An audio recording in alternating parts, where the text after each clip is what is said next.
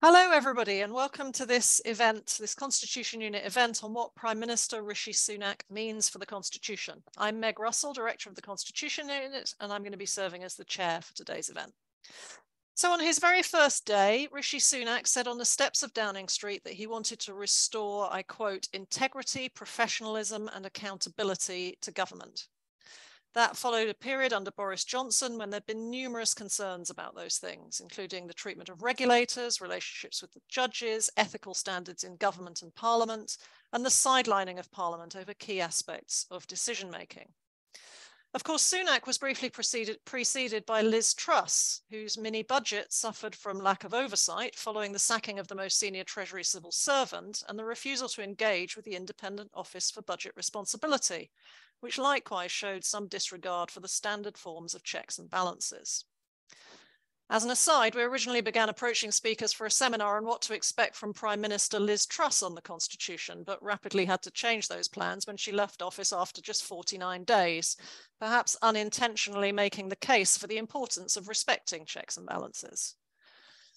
Sunak now has to decide how to make his pledge a reality.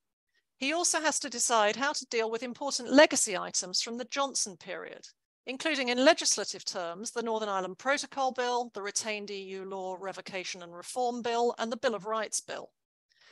And he needs to think more broadly about the conduct of his government, for example, in terms of its relationship with the civil service, parliament, and the judges. So, what should he do? And what in reality is he likely to do, particularly given some of the constraints placed upon him by his parliamentary party? These are the kinds of topics we want to explore today. I'm delighted to be joined by a panel of three good friends of the Constitution Unit, each of them outstanding researchers and commentators in their field. Jill Rutter is a Senior Research Fellow at UK in a Changing Europe and a Senior Fellow at the Institute for Government. Dr. Ruth Fox is the Director of the Hansard Society. And Professor Colm O'Cinneide is Professor of Constitutional and Human Rights Law here at UCL and an Associate Member of Constitution Unit staff. So the panelists will speak in that order, each just taking around five minutes for their opening remarks, and then we'll have a discussion among the panel for about 20 minutes. After that, we'll open it up to the audience for questions. If you'd like to ask the panel a question, please write it in the Q&A function of Zoom as opposed to the chat. Then Lisa James, our Q&A facilitator, will select a range of questions and by default will ask each questioner to unmute themselves and ask it directly to the panel. Alternatively, you can indicate when you submit your question that you'd prefer Lisa to ask it on your behalf, and you can indicate if you, if you would prefer it to be put anonymously. This whole session, including the Q&A, is being recorded and will become a Constitution Unit podcast after the event, as well as being posted as a video on the Constitution Unit website and YouTube channel. You may want to bear that in mind when deciding whether to ask your own question. So with those formalities over, I'm delighted to open it up to the panel. Um, and we were going to start with Jill. Jill, over to you. Thank you very much, Meg. Uh, so Meg asked me to talk uh, about some of the aspects of that. And she's actually gone back to where I was going to start as well, which were those key watchwords uh, from Rishi Sunak, because really we haven't had very much from him about the constitution. He's a man of relatively limited ministerial experience, indeed, relatively limited political experience, only elected for the first time in 2015. So he said integrity, professionalism, and accountability. I'm going to leave accountability to Ruth and the courts to Con, but I'm going to focus a bit on integrity and professionalism. Um, has we said that Rishi Sunak, having said that in Downing Street, rather immediately showed that uh, his watchword of integrity could be trumped by politics with his decision to appoint to his cabinet two, or to his cabinet and attending cabinet, two ministers who both had been uh, forced to leave office over breaches of the ministerial code. So let's start off with integrity. What do we really think of this? When we talk about restoring integrity, uh, we talk about standards in public life and the damage to that that was done by Boris Johnson in office um, with, say, repeating lying, misleading Parliament. Privileges Committee is still investigating whether he specifically misled Parliament over Partygate, but he was quite fast and loose uh, with the facts. Very often in Parliament, uh, his inability to hang on to an ethics advisor, uh, and his tolerance of misbehavior by his fellow MPs. And remember, Rishi Sunak, when he resigned following Sajid Javid, said he thought the British uh, public deserved serious and competent government. So, are there any signs now that Rishi Sunak is serious about the integrity agenda? Well, so far, uh, notwithstanding those appointments, the only commitment we have is that he, unlike Liz Truss, who said she wouldn't need one, didn't quite get the role of the ethics advisor. I think they're assuming, based on Boris Johnson's experience, they was purely there to investigate the prime minister. Of course, they're there to help the prime minister enforce standards on his colleagues. But he said we'll, he will appoint an ethics advisor, but although we're told the search is underway, it doesn't yet seem to have uh, produced anyone. We're also told that we're on the cusp of finding out who the independent investigator will be, who will look uh, at the uh, charges against Dominic Raab, but we don't yet know who that is either. But I think the interesting questions about the ethics advisor is does Rishi Sunak do any more than that? Uh, does he give that sufficient resources? That was a promise that Boris Johnson made to Lord Geidt before he went. Does he do anything to make it more independent, both in terms of publication of reports, but also initiating their own investigations without having to get the agreement of the Prime Minister. Uh, I don't think anyone thinks that ultimately the independent advisor should have the sort of Damocles uh, be able to end ministerial careers. But I think there's a really important thing about that relationship with the Prime Minister. But is he then going to go any further? Are we going to see any clampdowns on lobbying? I think there's stories now that the Gordon Brown review of the Constitution is going to clamp down on second jobs. We've seen Owen Paterson, rather ironically, yesterday appealing uh, to the European Court of Human Rights over his mistreatment in Parliament over that lobbying scandal. And does he have any big ideas on this? We've had Labour propose an integrity and ethics commission. In Australia, the Albanese government is introducing an anti corruption commission. So does Rishi Sunak have any ideas that go beyond just simply appointing an ethics commission? All we can say there is the jury is yet out. We don't know where Rishi Sunak plan, plans to go. But honestly, if he wants to make integrity a big watchword and having got off to quite a bad start, it would be really good if he did have quite a long list of ideas in this space and show that he's really interested. Some immediate challenges that he's going to face, though. What does he do about Boris Johnson and potentially Liz Truss's peerage lists, those resignation honours? Uh, very interesting, both in terms of numbers and quality of the House of Lords, but also the way in which that looks as though it's going to uh, hit a further nail into trust in politics.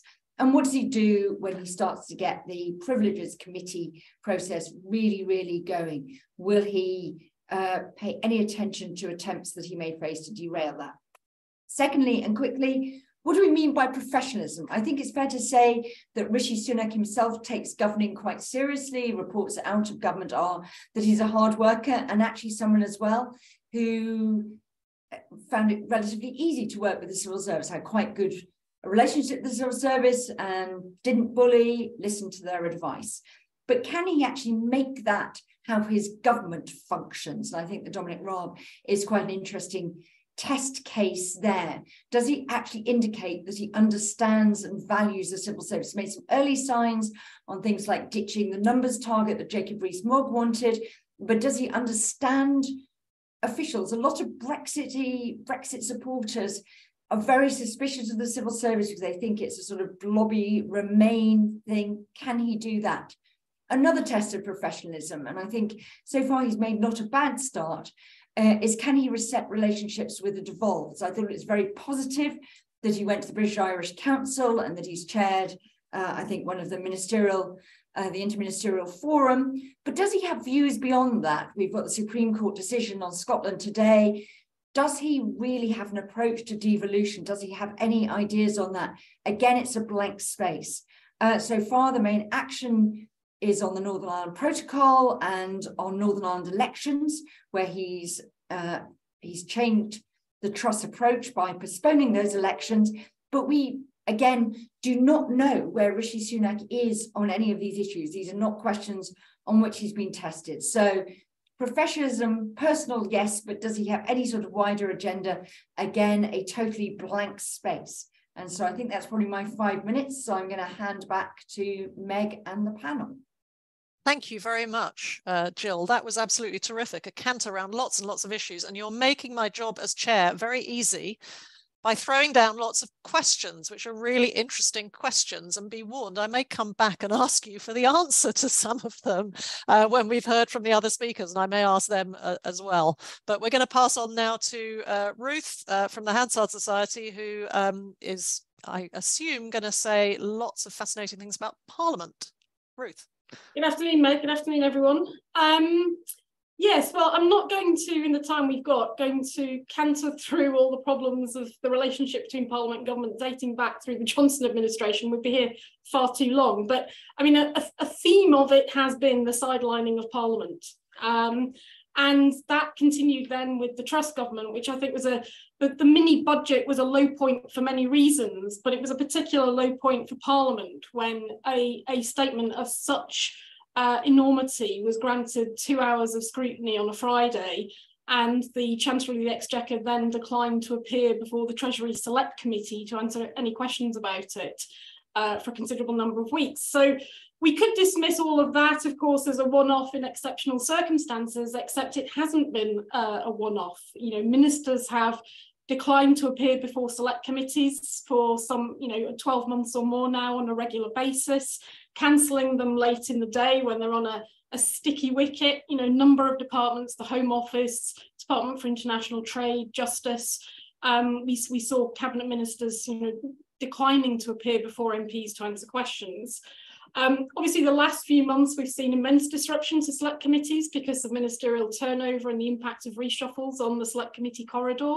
So I think an interesting question will be, you know, how do things settle down for select committees under some new chairs, new members, but also, you know, will the presence of former chairs of select committees at the heart of government, particularly somebody like Jeremy Hunt, influence a different approach and a different tone to, to committees um, going forward. Another issue that's been a problem has been um, the government's approach to treaty scrutiny, to the scrutiny of trade agreements. And we've seen just in recent days the former um, DEFRA Secretary of State, George Eustice, uh, indicating his unhappiness with the, uh, the trade agreement struck with Australia. Um, the government commits to pre-ratification debates of free trade agreements within the 40-day statutory scrutiny period, only so far as, as parliamentary business and parliamentary time allows.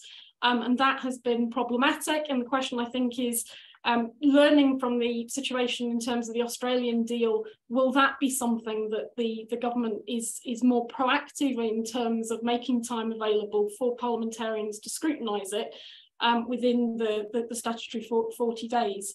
Um, it's entirely conceivable, I think, as we enter the sort of the final couple of years of a parliament, assuming that it's going to run the full term, entirely conceivable that we're going to be back in a situation again where they say, oh, sorry, parliamentary time is not available, we can't, uh, we, we can't do this.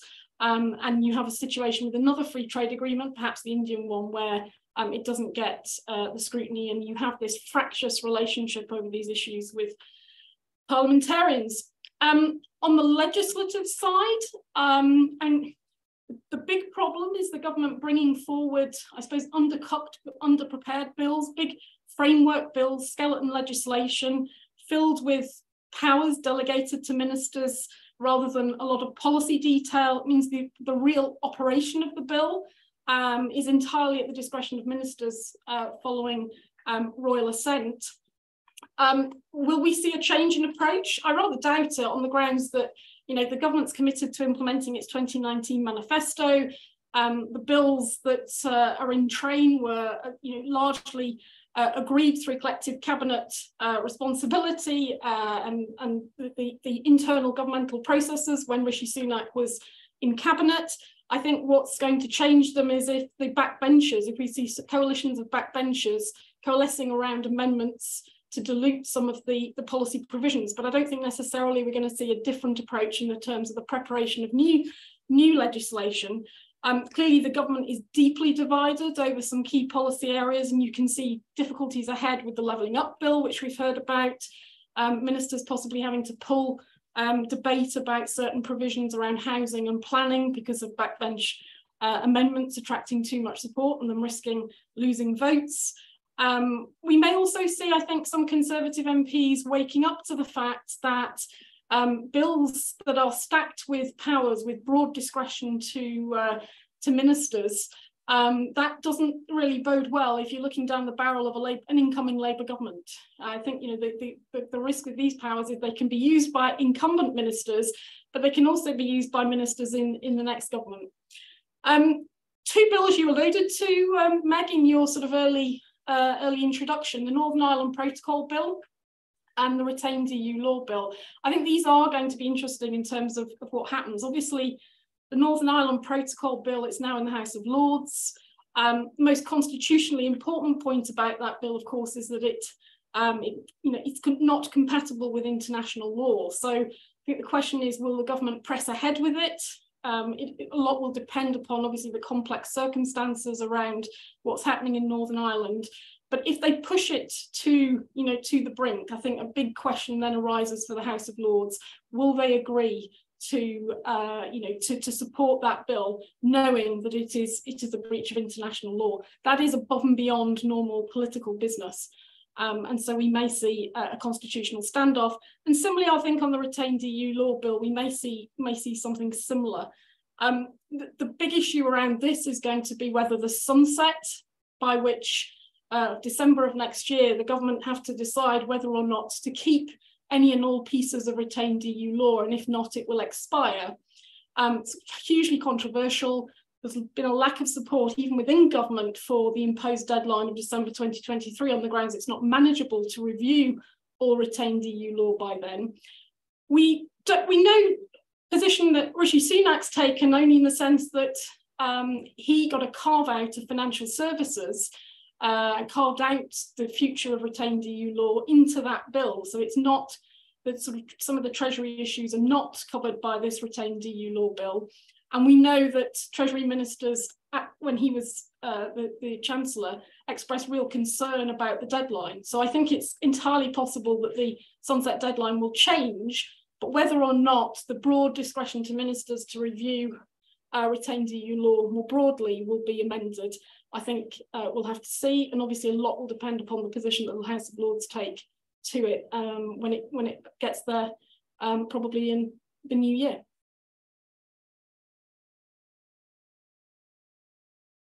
Great, thank you very much, Ruth. And, I'm sure we'll come back to some of those things as well. Um, but before we open up to discussion, um, let's come to our final panelist, uh, last but not least, um, Colm, talk to us. Great, thank you, thank you, Meg. Um, the from a some, from a sort of legal constitutionalist perspective, um, Rishi Sunak inherits a number of uh, constitutional conundrums, dilemmas, areas of tension um, that in an ideal universe with the general election looming in, in the not too distant future, he might prefer not to deal with. But unfortunately, he is, um, fortunately or unfortunately, he is to some extent stuck with them. Um, you, you, there are, there are, I think, um, four particular areas um, from a constitutional law perspective that are particularly problematic. Um, the first is the issue of UK human rights law and wider issues of the relationship between the judiciary and other branches of government. Secondly, the range of specific issues arising in respect of Northern Ireland, in particular, the protocol issue that Ruth has already mentioned.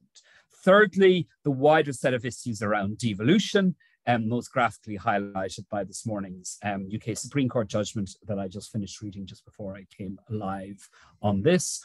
And then finally, the set of issues relating to the UK and EU, um, as again, um, Ruth has flagged up.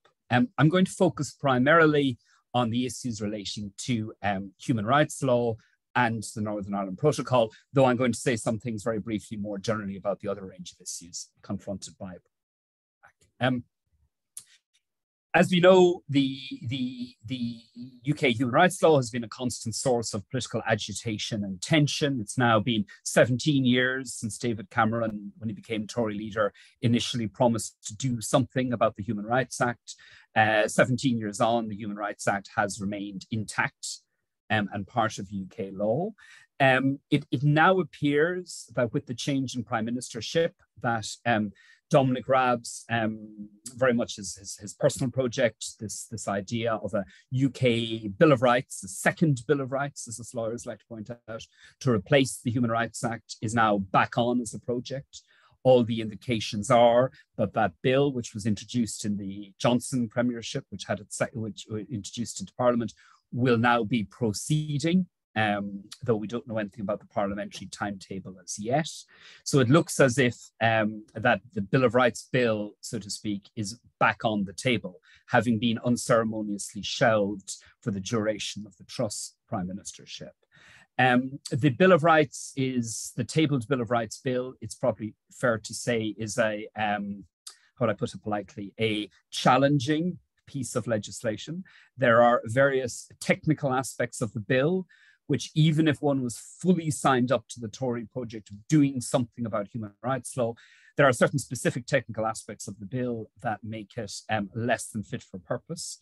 Um, there's uh, section three of the bill, which is supposed to shape how UK judges take into account Strasbourg jurisprudence and jurisprudence from other countries in interpreting human rights standards. And this section three contains some truly remarkable provisions, including the introduction of a criminal burden of proof standard beyond reasonable doubt for the first time, perhaps in the whole history of UK public law, as a judicial test to determine when UK courts should take into account new developments in the Strasbourg jurisprudence. I won't bore you with the technical details in this, but it's fair to say um, it's an innovative approach which is unlikely to find favour in the House of Lords. Um, it's in, in general, bill contains numerous um, quirky features, which are uh, will be crying out for debate, contestation, and reinterpretation in the Lords. Um, they're not likely to find particular favour from the legal community, and a large number, a, a, an interestingly large number of former judges have been very vocal about what they see as a very, very, very defective um, piece of legislation irrespective of one, what one thinks of human rights law more generally. But we have, for the time being, a commitment to take that Bill of Rights project forward, presumably the bill in its existing state. Um, it remains to be seen what happens there. There are interesting issues about parliamentary timetable and the strength of opposition. It's fair to say this is very much seen as a personal project linked to Dominic Raab. So the, um, the success of the bill may very well be very much linked to Dominic Raab's personal status as a minister in for the for the duration of the government. Um, then you have the issue of the Northern Ireland Protocol, already mentioned by Ruth. The um, Northern Ireland Protocol is winding its way through the House of Lords. Um, it remains intensely controversial, involving, as it does, the UK legislation to put itself in clear contravention of its obligations under um, international human rights, uh, international law. I'm sorry. Um, it's very, very controversial.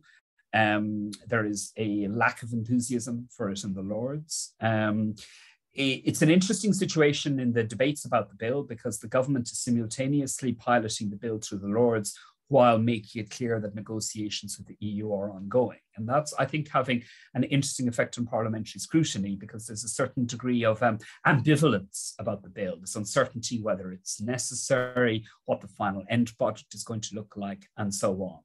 Um, all of this is linked to the suspension of devolved self-government in governance in Northern Ireland. Um, the DUP has made it clear that it won't um, enter uh, devolution arrangements in Northern Ireland without some sort of agreement on the protocol. Um, given the fact that we may very well not be having some clear agreement on the protocol, that, that puts into a question mark over the short-term future of devolved governments in Northern Ireland. Legislation is pending to extend all the relevant timetables that are required in that circumstance. So the protocol's fate is very much bound up with the fate of devolution in Northern Ireland. So there's an entire set of constitutional conundrums in there which um, it'll be interesting to see how the Sunak government changes, uh, how, how the Sunak government chooses to um, approach that issue. Um, we have, of course, the wider issue of devolution. We'll have to see how the political reaction to today's judgment plays out.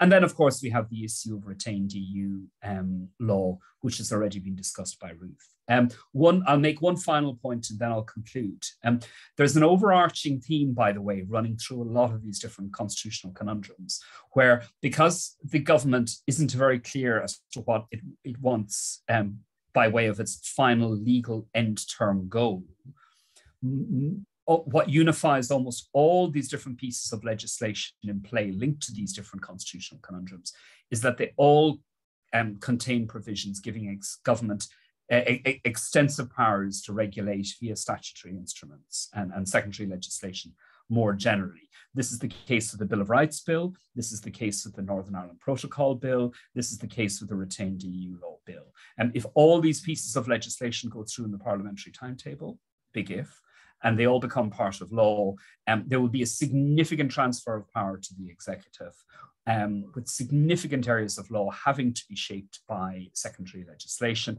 That will, of course, put pressure on the already overstressed uh, scrutiny mechanisms within Parliament. So there, there's sort of wider issues to bear in mind there, in addition to the specific conundrums that the Sunak government has to has to deal with.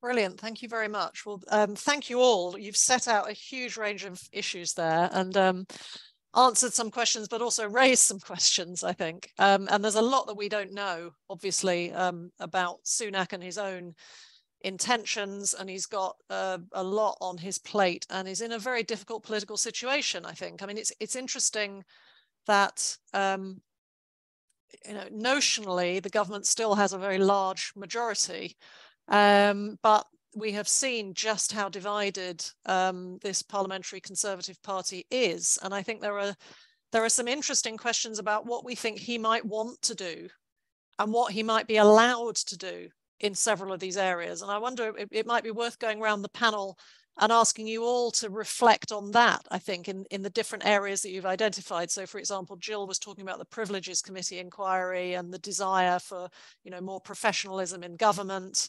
Um, Ruth was talking about um, retained EU law. Um, Colm was talking about um, the Bill of Rights and the Northern Ireland Protocol.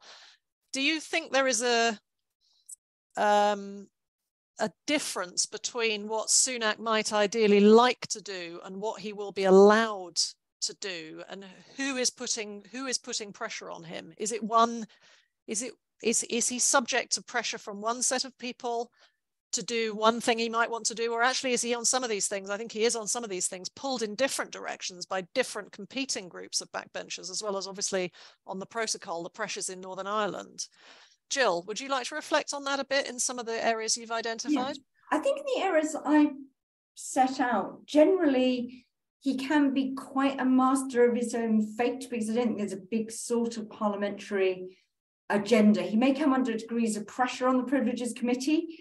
Uh, I think as uh, as you know, as identified, his problem there would be less with Parliament than with people behind him. And I think the, the big question for Rishi Sunak is not can he get things through Parliament so much as can he uh, can he do things and remain prime minister given that the taste that the conservative party seems to become almost addicted to for uh, regicide or its female equivalent? So i think that's his that's one of his big problems.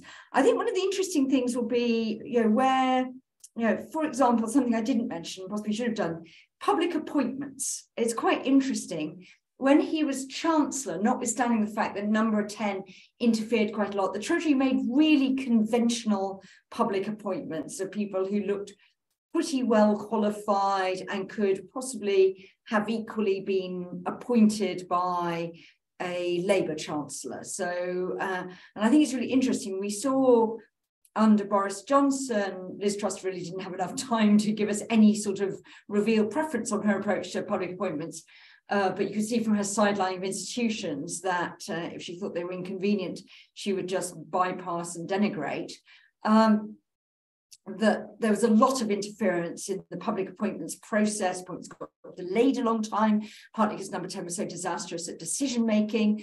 But we also saw things like the arguments over Ofcom, BBC, various various places where uh, there were clearly quite sort of you know partisan-ish appointments. And I think one of the interesting tests, particularly for the sort of professionalism agenda, some points we've been making about relations with regulators, is does Rishi Sunak, in a sense, favour the sort of technocrat candidates for some of these things? And does he actually also make public appointments efficiently? Because that's certainly not been a hallmark of any governments because he's had to go such through such a convoluted process of going into number 10 for a degree of sort of political political vetting. So I think on my areas, he's got quite a free rein with one exception. And that's the exception of who's in his cabinet. Uh, because clearly, for someone who wanted to major on integrity, reappointing a minister who had been uh, resigned the week before over a breach of the ministerial code got his premiership off to a very poor start because there was clearly a sort of you say one thing and you do the other. And that was you know, appeared to be a bargain done. I think Labour refers to it as a grubby bargain. We don't know quite the terms of trade, but it seems to be to keep that Suella Braverman wing of the party on side. And I think that's the really interesting thing as where does the realpolitik end up in some of the people that he he keeps his cabinet. Gavin Williamson, I think he probably wanted for different reasons, but again, a high integrity, highly professional operation probably wouldn't have had Gavin Williamson sitting at the cabinet table. Thank you. Ruth, on particularly on retained EU law, it feels like there are some quite different tensions there because on the one hand, you've got perhaps people who are, you know, the original Brexiteers who are very keen to see this symbolically, if nothing else, going through with the sort of maximum ability for the government to sweep away these regulations. But actually, the institution which is going to lose from that, aside from the effect of, you know, when you the, specifics in terms of environmental regulation and so on, which people out there in the country are going to care about. The people who are going to be being potentially cut out of this equation, this decision making, are parliamentarians, are MPs. So is he subject to cross pressure there for you know parliamentarians actually wanting better processes, but there being a certain set of parliamentarians who perhaps for symbolic reasons want him to go in the other direction? How do you think those dynamics work? Yeah, I mean, I think I think in terms of legislation, he's not master of his own fate in the way that uh, Jill set out in relation to her areas. I mean, he is he is going to be pulled in multiple directions. And on retained EU law, you've got on the one hand, this is the bill that is the brainchild of Jacob Rees-Mogg, and you've got sort of the arch Brexiteers uh, taking a fairly dogmatic approach. They want uh, to get this through as quickly as possible um, you know, to talk about sweeping uh, some of this uh, legislation away. And on the other hand, you've got, I think, realists both on the backbenches and within cabinet who recognise the enormity of the exercise of reviewing retained EU law, thousands and thousands of pieces of retained EU law, of knowing whether you've captured it all. I mean, one of the problems with potential problems with this bill, if it goes forward in, in this way, is the inadvertent omission if they if they don't find a piece of retained EU law, it will expire, and they don't automatically save it uh, before the sunset next next year. It will fall away. It will expire, and you know there are administrative concerns about what the consequences of that might be. You know, for example, piece of retained EU law that uh, I don't know imposed a statutory charge or fee. Um, the, the, the legal underpinnings, the foundation for that would fall away, um, and the government doesn't want to find itself in a position of carrying on charging those fees illegally. Um, so there's there's all sorts of, of potential problems in that direction. Um, I mean, it is a real, it was described to me by a, a, former Conservative minister as a barnacle on the boat that the government can do without, because it's, you know, on the one hand, it, it, it exposes the tensions within cabinet and within the, the, the wider Conservative Party. Um, but the way that they structured the bill, um, and because there's no real policy detail, we don't know what they intend to do with any of these pieces of retained EU law. It's all powers and, and not policy. There's, there's no detail in it. And we don't know what the review process is, uh, other than in the very broadest terms. Um, it's, it's almost an open invitation to all these campaign groups in all across all these sectors um, to be to be raising concerns and to be lobbying MPs and, and, ministers and so on, and they haven't got the bandwidth. And somebody um, made the point to me earlier that perhaps Sunak, as a former chancellor, will be very concerned, particularly concerned about the legal uncertainty for businesses created by this situation. And therefore, maybe he's actually going to want to change some of the provisions of the bill, perhaps allow the sunset provision to be removed, those kinds of things. Do you have any thoughts on that? Well, as I, as I alluded to in my earlier remarks, I mean, I think the prospect of the sunset date changing is, is, is, is considerable, um, precisely because when he was Chancellor, they were expressing, as part of the interdepartmental write round process on the bill over the summer, they were expressing concerns in the Treasury about that. Um, and, you know, at that point, the deadline, the sunset deadline was 2026. And between uh, that period and the bill being brought forward by Jacob Rees-Mogg presented to Parliament for first reading, it was reduced to 2023, which is a much, much tighter timescale.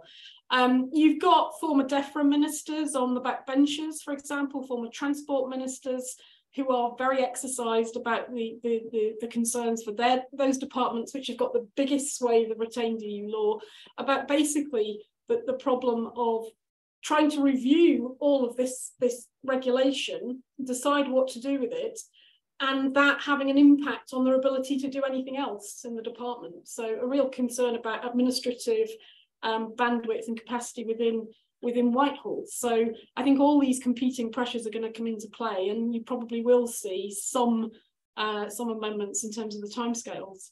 I can see that Jill is um, wanting yeah. to come in, and I, I, I will I come to you, Jill, and then I'll come to Colm. But the other thing that I keep forgetting to say is do please send in your questions for, from the audience in the Q&A function. There's some nice ones coming in, um, but now is the time to start getting them in because we'll turn to them shortly and uh, we want to have a good range of questions. So Jill. I just add that on retained EU law, the Chancellor last week, Jeremy Hunt, did sort of highlight five areas for regulatory reform. And actually that was a much more sensible approach to uh, regulatory reform is to select areas where you can properly propose changes like financial services or whatever that you think will be a net benefit to the UK rather than tie up huge amounts of bureaucratic, bureaucratic time and effort on the back catalogue of EU regulations. The problem, of course, is if you just delay the sunset, you prolong the uncertainty. The one thing going for a 2023 sunset is, you know, you could be out the other side of the process by then.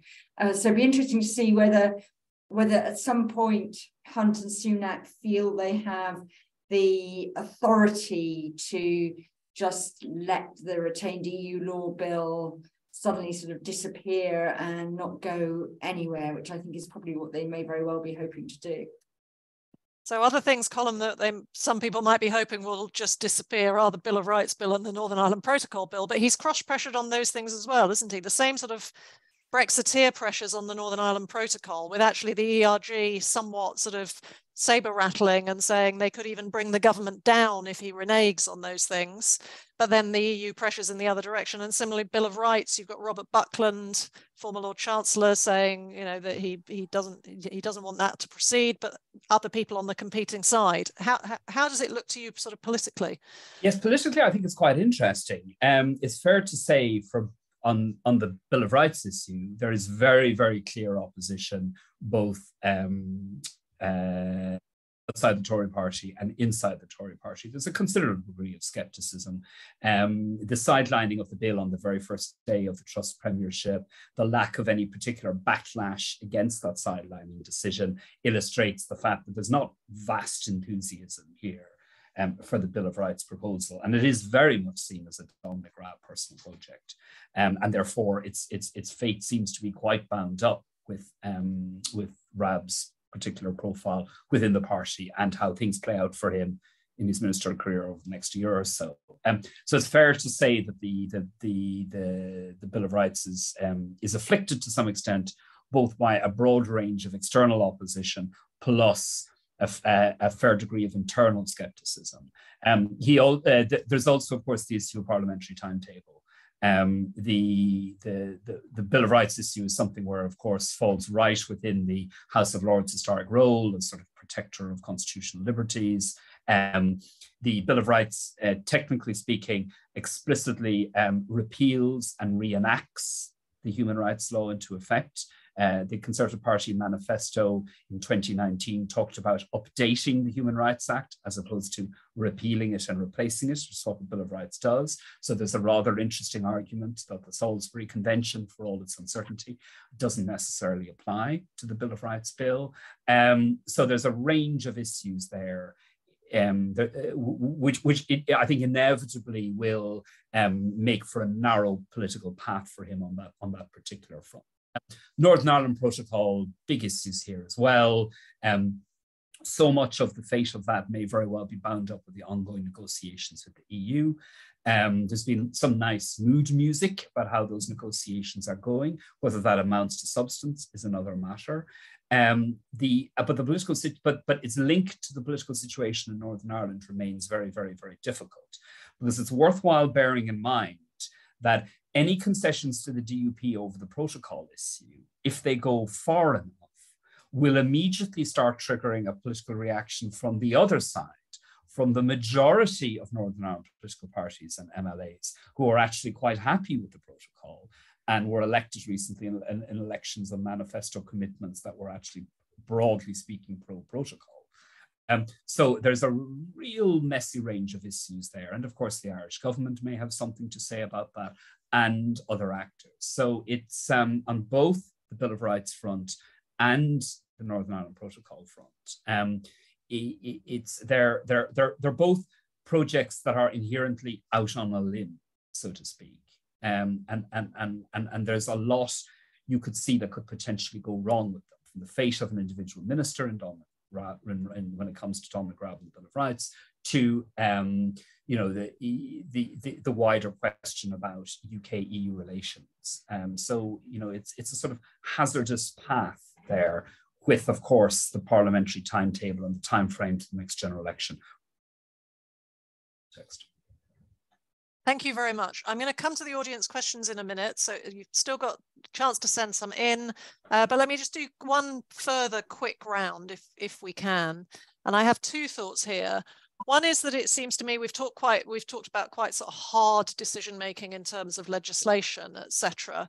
But one thing that has struck me with Sunak is he does appear to be, I, I assume, deliberately projecting a much more sort of emollient and much more kind of collegiate approach in terms of relationships with others. We saw this with the devolveds, where he was very keen to talk to uh, the first ministers quickly, unlike Liz Truss, and perhaps to an extent, unlike Boris Johnson to sort of rebuild relationships. We've seen the pictures with Macron, those those pictures of him at the G20, trying to rebuild the international reputation, uh, perhaps perhaps sort of for in, for integrity and good democracy, etc.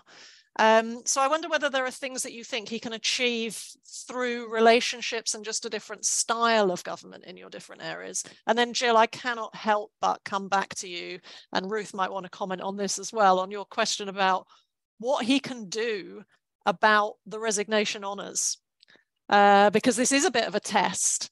Uh, he's been the, gauntlet has been thrown down, particularly by Angela Rayner, but lots of other people saying that he simply ought to stand in the way of resignation honours from Johnson and Truss. So this could be a bit of a test for him. Are there things that you think he can do? So let's go around again. Um, Jill, Jill, and then maybe Colm and Ruth.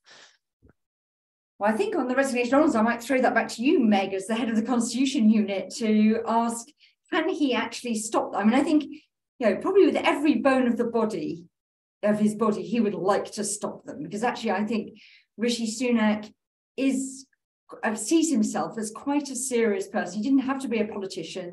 He had quite a successful business career. And I actually thought that, you know, his quite pained resignation in the summer about you know this really isn't a government I can stay part of anymore. His lines about serious incompetent and things like that really were someone who is thinking, what on earth have I got myself into?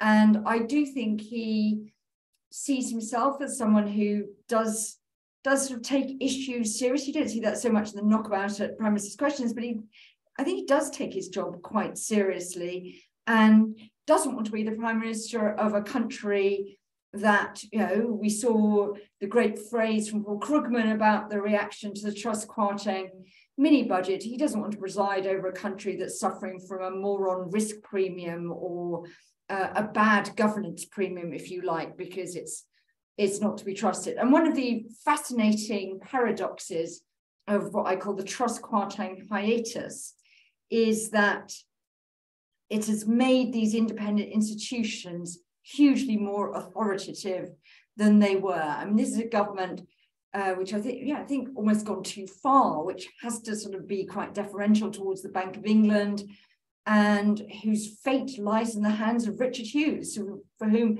you know, three months ago, everybody would be saying, who on earth is that? I mean, you know, Richard is now, you know, ubiquitous, but you know, former director in the Treasury, is that really the person we want to hand the fate of governments to? I think it's quite a sort of interestingly strange position that the government has got itself into by dint of seeing that there is a very, very significant real world price for trashing institutions and checks and balances. I think a really interesting question is, and this goes to sort of paper that the Institute for Government put out uh, two weeks ago or so on constitutional guardians. Does Rishi Sunak actually see that not he doesn't just you know come to trash them he actually should use some of his bandwidth maybe fourth term legislation to strengthen some of the bodies and to do some of the legislation if you like to preempt the Angela Rayner agenda. Would he even think about doing this in a cross party way and say, actually, you know, we all have to restore trust in our institutions. It's good for none of us that people think that, you know, people who go into politics for quite noble reasons we disagree on what we want to do, but we're all here for the right reasons. And we don't like to be reviled, to be, you know, below estate agents, those veracity indices that Ipsos Mori always publish. And we'd like to really do something about that. And I think it's really interesting about whether he has a sort of imagination or interest to try to get ahead of this and actually say, well, just as I want to have restored our reputation for management of the economy, I also want to develop a, quite a big agenda about you know, not just patching up the bits that Boris Johnson destroyed, um, but also going much further uh, in the way that John Major reacted to his scandals by the Nolan Committee and things like that. And will his MPs let him do that? If, say, he wants to clamp down on second jobs or outside sources of income, some, yeah, we know that some of the former prime ministers have very substantial sources of outside income now, so may not go down too well. Might remove a potential challenger though from the list, so it could be could have a big co-benefit there. That is a very, very interesting point, I think, about the cross party working, because there's something reminiscent now of the situation that Sunak is in of where Theresa May was, of course, with a in a much weaker position in a minority government, but of sort of having opponents on both sides of her own party. And her possible way out of that was to go across the aisle uh, and you can defang the opposition by doing that potentially as well. So, but you've got to be bold, you've got to be brave to do it, and you've maybe got to sideline some of your own party in the process. So that, that's really interesting. Colm, I'm, I'm aware we, we, we need to keep an eye on time and get to the audience, but these, this this question about sort of relationships and style and yep. whether you can achieve things just by working with people differently at devolved level and perhaps internationally. Yeah i, I think i agree with jill. I, I think rishi sunak is very clearly trying to uh, do things in a different way. Him he him turning up the british irish council for example was a very significant gesture um, that was appreciated in dublin in an area that had become very fraught.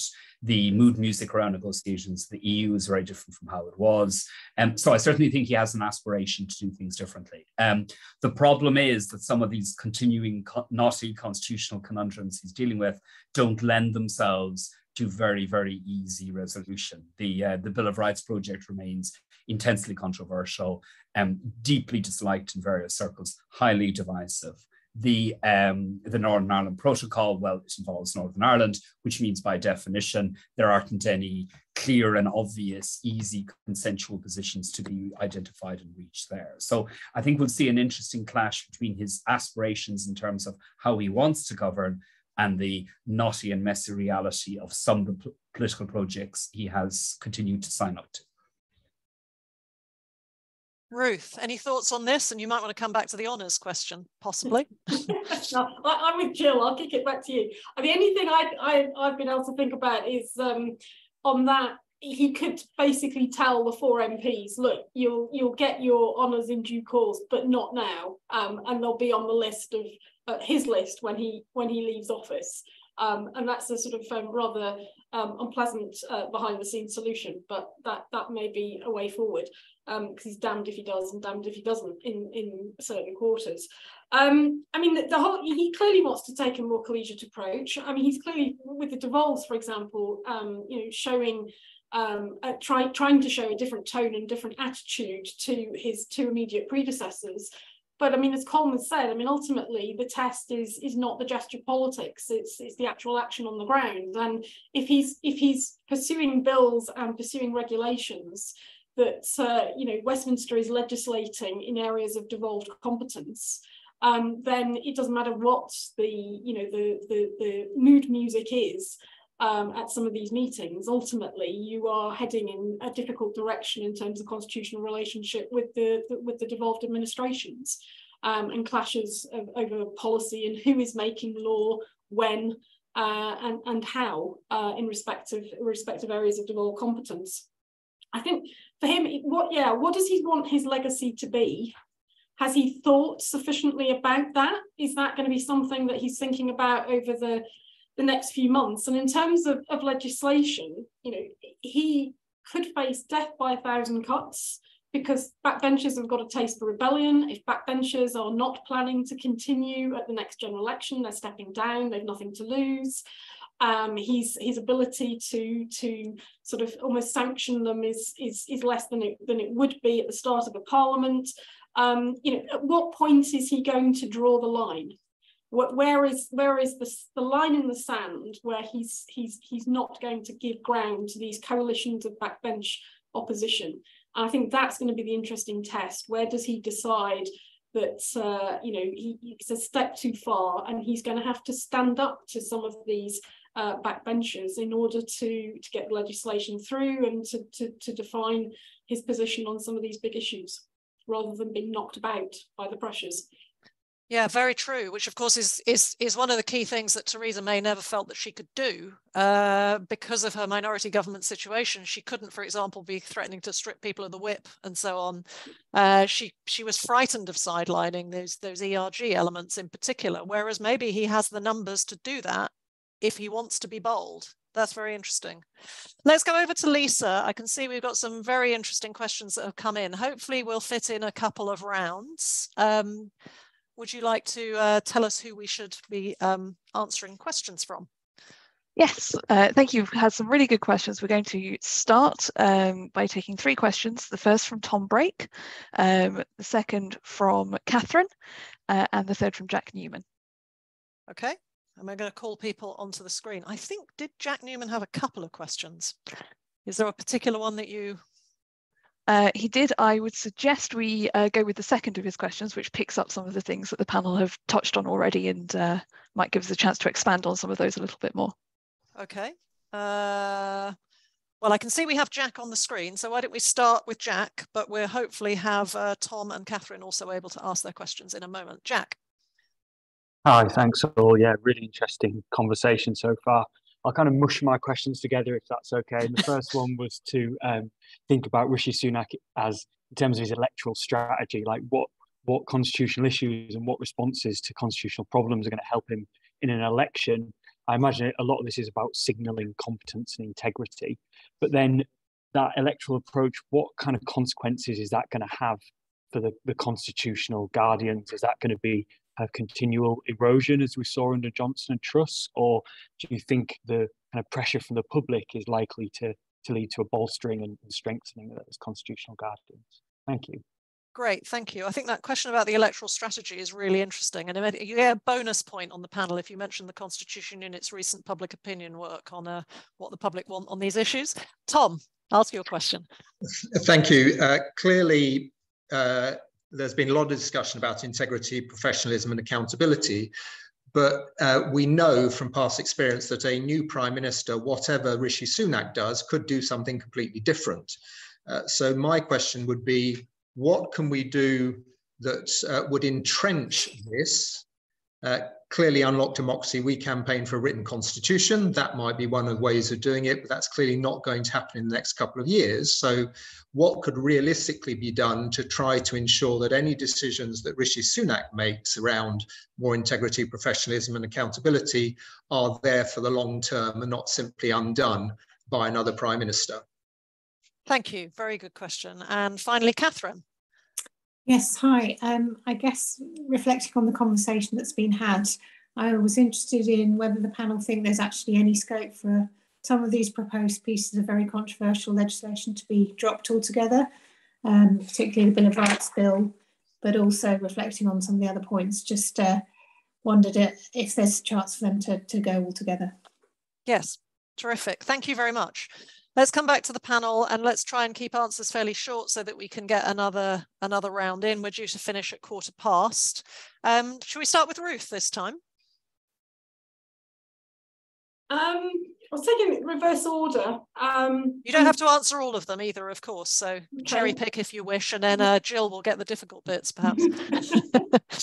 um, I mean, scope for some of the legislation to be dropped altogether. Um, I mean, I suppose the Northern the Northern Ireland Protocol bill maybe, possibly, depending upon how events turn out, and that's that's dependent upon you know, direction of negotiations with the EU and outcome of the assembly elections and so on. I don't think the retained EU law bill will be dropped, but I think it could be, as I said, you know, re revised considerably. Um, and I'll leave the human rights bill to, to Colm, but I think um, a lot of it's going to come down to pressure of parliamentary time and how long this this these bills get uh, get stuck in the House of Lords. I mean, the government will be able to, if it wants to, rather than dropping them, it can just sort of string things out a bit in terms of its parliamentary management. And oops, we get to the end of the session, and sorry, there's not enough time to to get everything through. So so that there may be some some um, sort of routes through through there.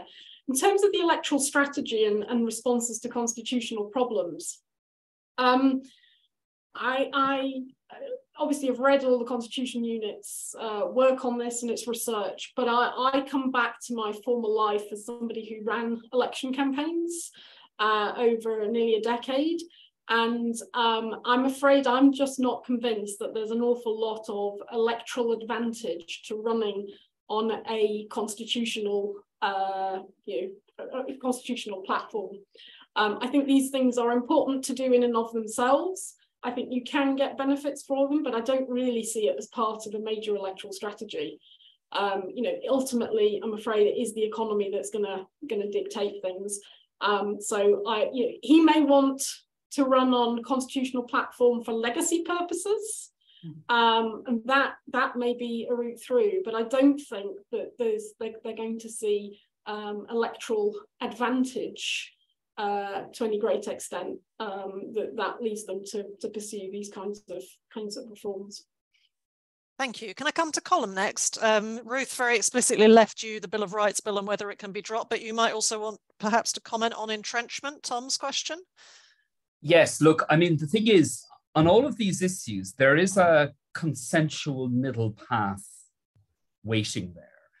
Um, and, and, and there are off ramps in in in on on on all of these issues of constitutional controversy. So it'd be interesting to see whether those off ramps are taken. Um, for the last couple of years in the Conservative government, um, there's been a sort of interesting dichotomy.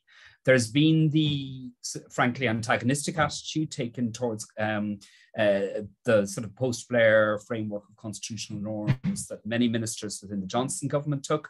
But there's also been the approach that, for example, Robert Buckland took as, as, as Lord Chancellor Minister for Justice, which was to use mechanisms like the independent review into, into administrative law and to and the established independent review into the Human Rights Act to try and have some sort of expert consensus position put together.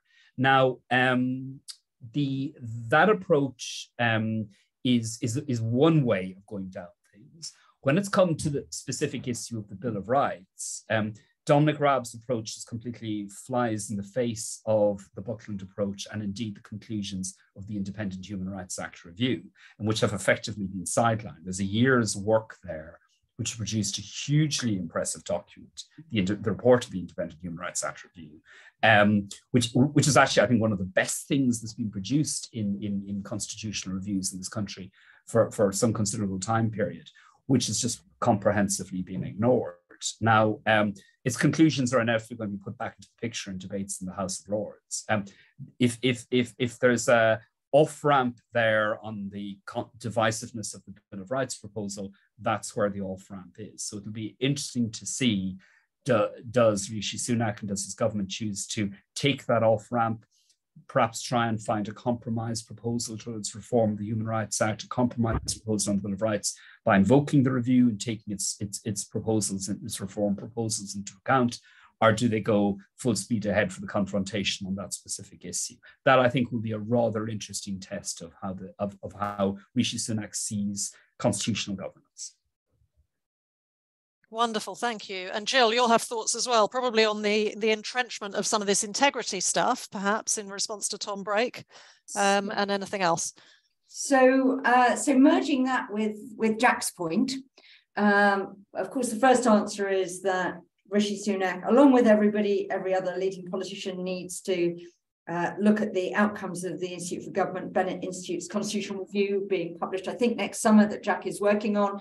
So, and need to look at that. That will have loads of great ideas on how to improve things.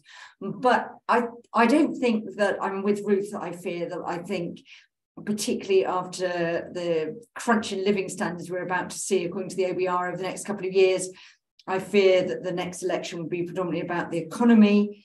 Uh, the danger is that you might make populist gestures of knocking bits of the establishment. And uh, that was, after all, what the Conservatives did their 2019 manifesto when they were threatening their sort of constitutional review, which was laying the groundwork for things like uh, an attack on judicial review and uh, whatever. So uh, I'm not sure you want it to be part of an electoral strategy. What would be good would be if there is a bit of a sort of second order bidding war between the parties running up to the next election on who can do more to re-establish trust in politics and trust in our institutions. And then I think what we've seen is we have a lot of ad hoc institutions that are not on a statutory basis. Now, uh, Alison Young's producing a paper uh, for the IFG review on entrenchment, um, which is very difficult in our system with parliamentary sovereignty. But if you put things into law and then the judges decide that it's got some sort of constitutional status, does sort of give you a bit more protection. It's a bit harder just to ignore. Uh, so I think it's um, so I think it'd be really interesting to see if we can do that. And it's actually in both parties' interest to do that because if people think that they're signing up to be part of a class that's widely reviled, uh, so it puts off good candidates. One of the things we need are good people wanting to go into politics and being seen to want to do it for the right reasons. So I do think they both have quite a big vested interest in re-establishing faith in that. So I think a lot more of these ad hoc bodies and powers need to be properly put into legislation and put at proper proper genuine arm's length and maybe more of them have to become parliamentary bodies than ones that are appointed and report into government which uh, is another layer of arm's lengthiness to give them a bit more distance from the government of the day which is where you really need those sort of constitutional guardians. Hmm. the point about electoral competition is is is really interesting I, I think. I'm, I'm i'm a bit less cynical than than Ruth and, and Jill, particularly given the strength of our polling, which just shows overwhelming support for integrity. And you know, I don't think it's an accident that that was the first of the three things that uh, that uh, Sunak committed himself to on the steps of Number Ten. I also don't think it's an accident that, for example, we got this intervention from Starmer at the weekend about the House of Lords. Uh, Labour are trying to shame the the Sunak administration on Lords appointments, and so he's got some decisions to make there. Um, Lisa, let's have the next round, and then I think that will be the last round. Okay, so we are going to go first of all to Gareth Williams, um, and then we have a couple of anonymous questions which I'll read out. Okay. Hi, Gareth. Um, go ahead and ask your question. Oh, hiya. Um, yes, it's really about Northern Ireland, but I, I, I'm interested in Colm's view, but also in in in your other commentators. So um, it seems to me, at least, that um, Sunak probably and Jeremy Hunt certainly, you know, want to deal with the EU. But any deal with the EU uh, on the protocol seems to me it's inconceivable that that will meet the DUP's tests. Um, so you know is there any solution to this? I mean you know there's very little leverage it seems to me the uk government's got to force the dup into an executive but does anybody see any way out of this? That's really the question yeah that is one of his most difficult corners isn't it? Okay lisa um, you're going to ask us the other two questions. I am maybe similarly thorny. Um, a couple of people have uh, asked questions uh, about this morning's supreme court ruling uh, on scottish independence. Um, and so I'll try to roll them together into the general question what should Rishi Sunak and the UK government be thinking about as a result of this? Are there things um, that they should be thinking of doing um, particularly in behavioural terms but but perhaps not only before the end of this parliament um, and finally, a question on process uh, from an anonymous um, questioner uh, who asks, is there scope for a UK-wide national conversation on some of these constitutional issues? Some of the challenges outlined by the speakers are technical, but issues on issues like standards in public life, the nature of the relationship with devolved parliaments, the Bill of Rights Bill, the executive legislative relationship, could a national conversation provide some form of reality check? Excellent. Now, I can't remember what orders I've done with the speakers, but let me go to Colm first and then maybe Ruth and Jill. Yeah, very very briefly, uh, the uh, Gareth's question about Northern Ireland um, is is I think a very very good one. It's not at all clear what position could accommodate some of the DUP's objections, in particular those relating to their view of sovereignty and the nature of the UK, uh, Northern Ireland's place within the wider UK. Um, it, it's, it's exceptionally difficult to identify any ground, uh, any deal that the EU could sign off, could possibly sign off on, which would um, also be amenable to the DUP. Um, there's also a lurking background issue here. Let, let me be very frank about it. There's a certain degree of uncertainty um, as to whether the DUP is in any way eager to go into government again, especially with the prospect of a Sinn Féin First Minister, which for obvious reasons are is you know does raise the hackles on the DUP side of the political divide in Northern Ireland. Um, so in, in there's there's considerable uncertainty as to what concessions could be made to allow the DUP to um, come back in within devolved government in Northern Ireland. That, for me, raises the real possibility that we may not see devolved government in Northern Ireland in place for a very, very long time. I, I, I, I certainly see that as the potential to becoming a, a long-running um, constitutional conundrum um, that, that will require some very, very careful leadership to try and resolve. Um, on the point of the wider constitutional convention, which links into the debate that will inevitably be triggered by this morning's Supreme Court decision, um, look, there are there are real points of disagreement between key actors as to their constitutional vision. You're not going to find a clear consensus between the SNP and Labour and Conservatives on the constitutional future of the UK. I do think that sort of a, a, a hardline, um, corrosive, norm challenging approach, um, and which is an approach that has been adopted by quite a few ministers over the last five, six years, um, is widening fractures in the UK's constitutional settlement, is storing up future trouble.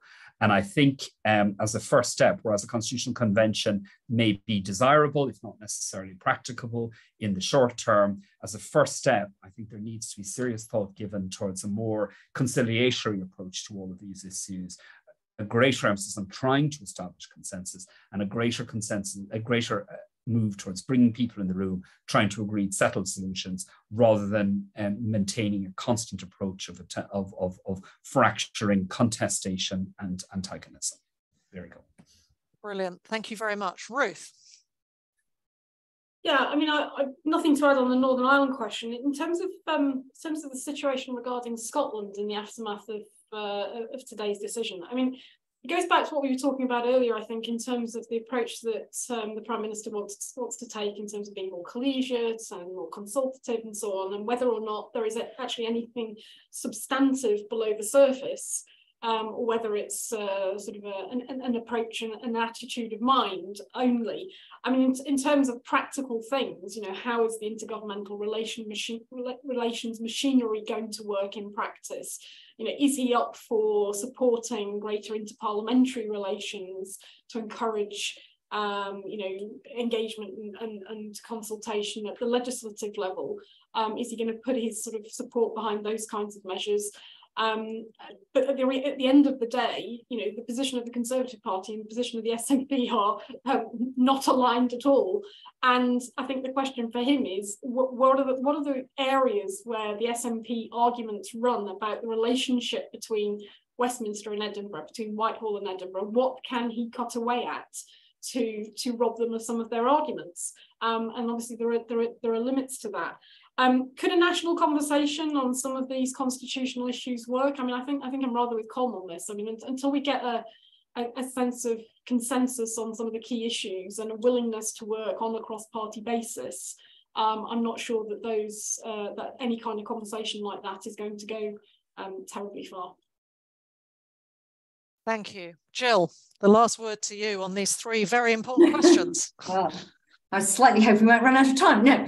Um, I think on Northern Ireland it's very, very difficult because you know finding finding that sweet spot, you know, splitting the difference. We've we've at UK in a Changing Europe suggested maybe we should try and do some sort of third party process, one more like we use in the uh, some of the stages of the Good Friday Agreement and the aftermath of bringing in a third party arbitrator, make the process more transparent, uh, making sure Jonathan Stephens has written for us on this former permanent secretary of the Northern Ireland office to make sure that there's more engagement of the parties because you know rather than regard solving the protocol over here as the wholly owned uh, project of the British government and the EU government with minimal input from the parties in Northern Ireland into that and behind closed doors to just actually spell out what really is this about, what really is is practical and uh, do the choices there. I think one of the things that the DUP's sort of weaponization of the protocol uh, in terms of agreement or otherwise to serve the executive is doing is reopening conversations about whether the Good Friday Agreement institutions are still functioning properly and whether you know power sharing should move to voluntary rather than mandatory so that the UUP who actually are running on a line that uh, you shouldn't be holding government uh, in Northern Ireland in hock um, because they're because the, the protocol you know would have a chance to nominate a first minister from the unionist community or whatever. So I think it's really interesting that conversation. I don't think we're ready for that yet. But I think it's really interesting as we approach the 25th anniversary of the Good Friday Agreement to say whether Northern Ireland really can have a system which is so prone to repeat collapses when one side or the other decides to withdraw. And there's some really interesting consequences as well for the potential emergence of proper opposition and scrutiny in Northern Ireland, none of which really we talk about accountability here, but accountability in Northern Ireland is um, a very non-existent beast, I think it's fair to say, and how we actually run devolved governments. So I think it's a separate set of governments. On Scotland, I think just two quick things to add into the hopper. Um, one is I think Rishi Sunak himself is a much less divisive figure with Scotland than either Boris Johnson or Liz Truss was. Uh, he still has quite a positive, uh, you know, he was the most positively regarded uh, figure because of the sort of furlough hangover. So less divisive there. Can he leverage that and his reasonableness and sort of sweetness to reduce the ability of the SNP to turn absolutely everything into a grievance against Westminster? Maybe focus a bit about on the SNP's performance in governing governing Scotland. And I do think the other bit of change context is the potential prospect for a Labour government or a Labour led government in Westminster, because one of the big sources of SNP grievance is, of course, you know, however Scotland votes, we always end up with a conservative government elected by the English foisted on us, and we don't want that. So I think that's a sort of interesting. It's very interesting for Nicola Sturgeon's next move, of course, which is to teach the is to you know, use the general election as a quasi referendum on independence in Scotland, whether Scots agree to have their votes used in that way and what where that ends up. Because I think quite a lot of people think that there's a potential for a better performance by Labour in Scotland at the next election. It set its bar pretty low, so it doesn't have to do that well to deliver on that. But I think that's a sort of interestingly different bit of context. But I think Rishi Sunak will probably put a bit more effort into trying to make devolution work. Michael Gove, of course, has taken that back as well. And I think, you know, in the constitutional terms, and I think he also presided over the you know, announcement, the IGR review and things like that. So I think there's a bit more, bit more UK government uh, muscle behind trying to make the current uh, current settlement work at least in a sort of more courteous and professional way and a less sort of bombastic and confrontational way. Wonderful. Thank you very much. Um, well, look, you have been an absolutely terrific panel of speakers. Uh, I think that's been a great event. Uh, many thanks to the audience uh, for attending and for your questions, but huge thanks to the speakers. I'm thinking there would be arguments in favor of getting this panel or perhaps even a different panel together in a year's time or something to kind of look at the scorecard. So how did he do? And in thinking about the scorecard, I realized I failed to plug, Jill, your excellent blog on the UK in a Changing Europe blog, um, asking about how he can um, how he can implement this pledge um, on integrity, professionalism, and accountability, and also our own blog uh, on the Constitution Unit blog asking the same question. So if you want to look at what some of the scorecard issues are, please look at those two posts. Um, thank you all. Um, as I said at the beginning of the session, uh, there will be a video of this event on our website and YouTube channel soon, and there will also be the audio file uh, going out as a Constitution Unit podcast. So those in the audience will receive an email when those files are available. And if you've enjoyed this event, then I would strongly encourage you to share uh, the links with your family, colleagues, and friends. Um, and if you're not already signed up to the Constitution Unit's events mailing list, please do sign up in order to be the first to hear about our forthcoming events. You just need to go to our website, click get involved, and then subscribe in order to put yourself on the mailing list. But I can give you advance preview now that our next event is going to be on the 8th of December on the question of the executive's prerogative powers. And this in part marks publication of a new book on the subject by former Constitution Unit Director Robert Hazell. Uh, the, the, the details are not yet on our website, but they will be there and on Twitter shortly. So until then, or wherever we meet again, uh, thank you all so much um, and goodbye.